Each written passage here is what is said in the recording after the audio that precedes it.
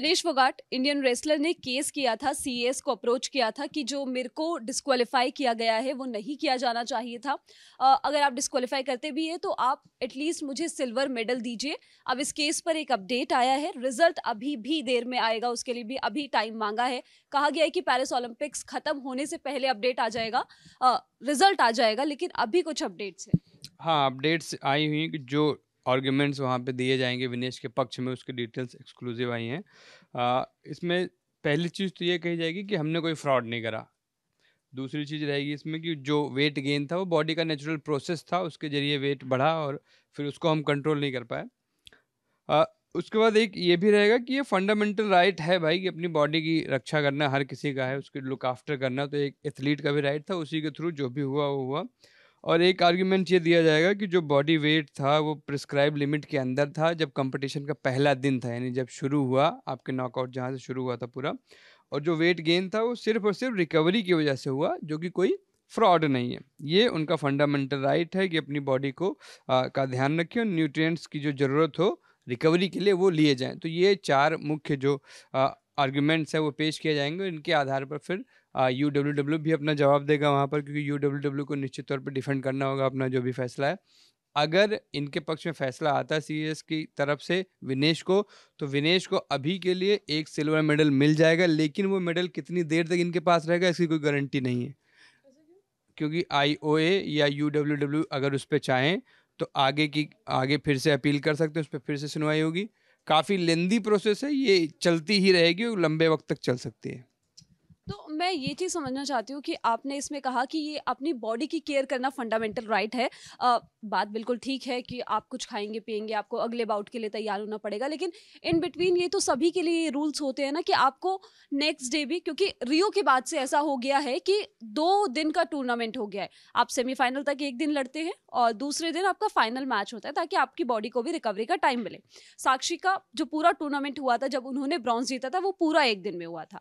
लेकिन उसके बाद से दो दिन वाला सिस्टम हुआ और दोनों दिन आपको जो आपकी वेट कैटेगरी है, उसके अंदर ही रहना होता है। तो इसमें फंडामेंटल राइट right वाली बात ठीक है कि आप खाइए, पिए, लेकिन ये भी तो एक वो है ना कि अब दो दिन का टूर्नामेंट है और ये दो साल से मतलब दोनों ओलंपिक से यही रहा है कि आपको दोनों दिन ही उतनी वेट कैटेगरी में आना ही है। तो ये तो सबको पता है ना, ये हम अपने आर्ग्यूमेंट में थोड़े रखेंगे। आपको जो नियम है, हमको भी पता है सबको पता है सबके लिए नियम बराबर होते हैं। ऐसा नहीं हो कि पहली बार कोई डिस्कालीफाई हुआ है। लेकिन पूरा जो आर्ग्यूमेंट है, वो ये है कि हम डिस्कालीफाई हुए फाइनल में आके। उससे पहले के जो तीन मैच हमने जीते, उससे हमारा सिल्वर मेडल कन्फर्म हुआ। हम वो मांग रहे हैं। हमने एक अपील ये भी करी थी कि ये फाइनल में हमको खेलने का मौका दीजिए, हमको दोबारा वज़न करिए हमारा। तो वो तुरंत नकार दी गई, उसको एक्सेप्ट ही नहीं किया गया। सी ने सीधे कहा कि ये संभव नहीं है। लेकिन दूसरी जो हमारी अपील थी कि सिल्वर मेडल संयुक्त रूप से मिलना चाहिए। जो फाइनल में हारे वो तो पाए, लेकिन हमको भी एक दे दीजिए, क्योंकि हम सिल्वर के तो योग्य थे ही ना, सिल्वर तक तो हम पहुँचे ही थे। और आपके सारे नियमों का पालन करते हुए पहुँचे थे। तो ये जो चीज़ है इस पर पूरी बहस होगी। सारा आर्ग्यूमेंट इसी चीज़ का दिया जा रहा है कि हमको आप एक सिल्वर मेडल दीजिए क्योंकि हम फाइनल तक पहुँचे थे। लेकिन मैं ये चीज़ नहीं समझ पा रही हूँ कि जो नियम ऑलरेडी पहले से चलते हुए आ रहे हैं तो क्या वो अब चेंज हो जाएँगे विनेश के केस में? पहले भी यही था कि आपको दोनों दिन आना होता है वेट कैटेगरी के अंदर। हम हमें उससे मतलब नहीं आप नियम बदल रहे हो नहीं बदल रहे हो आपका हेडेक है। हम मांग रहे हैं हमारा सिल्वर क्योंकि हम फाइनल तक पहुँचे थे। अभी इस पर कोई आर्ग्यूमेंट नहीं करना कि आपको नियम बदलेंगे, नहीं बदलेंगे, ये आपकी समस्या है। हम फाइनल तक गए थे, उसके बाद हम डिस्कालीफाई हुए ना तो हमारे पिछले सारे रिज़ल्ट क्यों नल एंड वाइड हो रहे हैं? लेकिन बीते कुछ मैचेस मतलब पहले के टूर्नामेंट्स में जो रूल तो यही कहता है ना कि आपका वो नहीं माना जाएगा, आप डिस्कवालीफाई हो जाओगे। रूल के हिसाब से जब फ़र्स्ट डे से ये बात चल रही है कि डिस्कवालीफाई क्यों किया गया डिस्कवालीफाई इसलिए किया गया क्योंकि ये रूल है तो इस चीज़ का काउंटर अटैक मतलब किस तरीके से पेश किया जा सकता है? इस पर हमको काउंटर करना है नहीं, हमको लड़ना वहाँ है जहाँ हम जीत सकते हैं, जहाँ सब संभावना नहीं है, जीत के वहाँ लड़ना ही नहीं। हमारी पूरी जो दलील है, वो सिर्फ़ ये है कि हम फाइनल तक गए थे, आपके सारे नियमों का पालन करते हुए गए थे, हमको हमारा सिल्वर दीजिए, जो हमारा हक बनता है। बाकी नियम क्या कहते हैं, ये हमको ही पता है, आपको पता है, सबको पता है। लेकिन इन नियमों के तहत अभी तक फाइनल्स में जाके मेरी याददाश्त में कोई डिस्कालीफाई नहीं हुआ था। आप राउंड ऑफ़ सिक्सटीन में हो गए एट में हो गए सेमी में भी हो गए तब तक मेडल कंफर्म नहीं है ना? यहाँ बात है कि हमारा मेडल कंफर्म हो चुका था उसके बाद हमको जो रिकवरी का टाइम मिला हम नहीं रिकवर कर पाए और हम डिस्कालीफाई कर गए। तो उसके बाद का जो हुआ हुआ लेकिन उससे पहले तो हम नियमों के आधार पर गए थे ना फाइनल तक। तो उसका हम मांग रहे हैं अपना सिल्वर मेडल तो पॉसिबल है? देखिए अब मतलब मैं तो चाहूँगा कि पॉसिबल हो। नहीं मतलब ऑफ़ कोर्स सारे इंडियंस चाहेंगे कि ये पॉसिबल हो, ऐसा हो कि विनेश को मेडल मिले, क्योंकि उन्होंने कंफर्म कर लिया था और जैसा कि सूरज ने बताया कि हमारी यादाश्त में ऐसा नहीं है। उनकी यादाश्त में ऐसा नहीं है कि पहले कभी ऐसा हुआ हो। तो जब आपका मेडल कंफर्म नहीं होता, उस टाइम बाहर हो जाना और जब आपका मेडल कंफर्म होता है कि एटलीस्ट गोल्ड नहीं तो सिल्वर तो आप लेके ही आओगे और सिल्वर से भी आप हिस्ट्री क्रिएट कर रहे हो। हाँ बिल्कुल हमने देखा रवि दहिया का हमने पिछले ओलंपिक्स में देखा था। इतना अच्छा खेले थे फाइनल में नहीं अच्छा खेल पाया लेकिन सिल्वर तो लेके आए ना। वो एक ऐसी सिचुएशन अब क्रिएट हो गई ना इससे पहले कभी हुआ नहीं है ऐसा। कि मेडल कंफर्म हो फा, हाँ फाइनल में पहुँच के कोई इस तरीके से डिस्कालीफाई हो जाए। तो ये एकदम नई चीज़ है और इस नई चीज़ को दोबारा ना देखना पड़े, इसकी ये लड़ाई है कि अगर इसमें कोई फैसला बनता है तो ये आगे के लिए नज़ीर बन सकता है कि वहाँ पे जो विनेश का जो केस हुआ था, उसमें ये फैसला आया था। अगर डिनाई हो जाता है, फिर तो कोई बात नहीं, अपने हाथ में कुछ है नहीं। लेकिन अगर हम ये जीत जाते हैं तो ये एक बड़ी जीत होगी। और ऐसा भी क्योंकि खाने की बात आपने करी थी कि क्या न्यूट्रिएंट्स लिए, क्या कुछ खाया इन बिटवीन विनेश फोगाट ने, जिससे उनका वेट बढ़ा, कम करने की पूरी कोशिश की गई हंड्रेड ग्राम्स फिर भी ओवर निकला। तो इस चीज़ की भी एक दलील दी जाएगी कि हमने वही चीज़ें खाई जो कम हो सकती थी।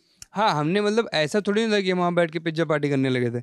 हमने फ्लूड्स लिए दो आ, दो तेईस सौ एम एल फ्रूट्स लिए थे फ्लूड्स फ्लूड्स लिए थे तेईस सौ ग्राम और सात सौ ग्राम के स्नैक्स थे जिससे पूरे दिन के जो इवेंट्स हैं उसके दौरान हमारी एनर्जी डिप ना हो क्योंकि ज़ाहिर सी बात हम लड़ लड़ रहे हैं क्योंकि हमको जीतना है। तो हम बल हमने बस इतना ही लिया था वो जो इनटेक था हमारा उसके बाद अब ये ये भी हो सकता है ना कि हैप्पी वेट नाम की भी कोई चीज़ होती है मैं कहीं पढ़ रहा था। आप लगातार तीन मुकाबले जीत गए आप दुनिया की देश की पहली एथलीट बनने जा रहे हो पहली रेसलर बनने जा रहे हो जो सिल्वर या गोल्ड ला सकती है। तो कई बार होता है मैंने कहीं में पढ़ ही रहा था कि खुशी जब आप खुश होते तो भी कुछ ग्राम आपका वेट बढ़ जाता है। तो आप इसको तो नहीं काट सकते ना। हंड्रेड ग्राम की बात थी अब खैर जो हुआ वो हुआ। अब सी का फैसला क्या आता है ओलंपिक्स ख़त्म होने से पहले ये बड़ा इंपॉर्टेंट है। हाँ और आपको जैसे हमने बताया कि ये फैसला पेरिस ओलंपिक्स ख़त्म होने से पहले आ जाएगा। ये देखना होगा कि ये अपील सुनी जा आ, सुनी तो जाएगी कि इस पे फैसला क्या होता है कि विनेश को मेडल मिलेगा या नहीं मिलेगा।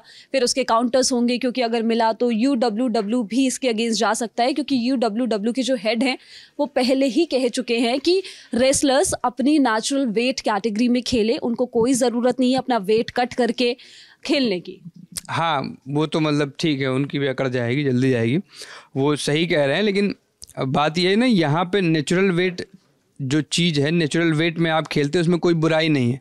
लेकिन अब हम पीछे जाके इसको नहीं चेंज कर सकते ना। हमारी लड़ाई है जो ये हो गया, इसको कैसे सही किया जाए? क्योंकि हमने पूरी कोशिश की, ऐसा नहीं है कि विनेश बाउट के बाद सो गई थी या कुछ भी, विनेश ने पूरी रात मेहनत करी, हर हर वो तरीका अपनाया जिससे कम हो सकता। हो अपना वेट कट करके लाए, भी वो सौ ग्राम की बात फंस गई। तो अब ये जो अजीब सा ही केस बन गया। इसमें न्याय की मांग हो रही है, निश्चित तौर पर उनका ये अधिकार था कि वो सी के पास जाएँ और वहाँ पे जो है अपील करें अपनी और वहाँ से जो भी फैसला है उसको स्वीकार के आगे बढ़ें।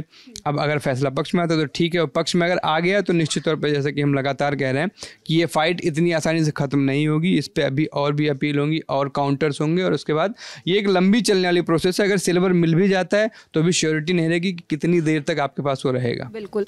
विनेश पे जो अभी अपडेट्स आए हैं वो हमने आपको बता दिए हैं। आगे जो भी अपडेट्स आएँगे वो आपको ललन टॉप पे मिलते रहेंगे। आप लोग देखते रहिए। Thank you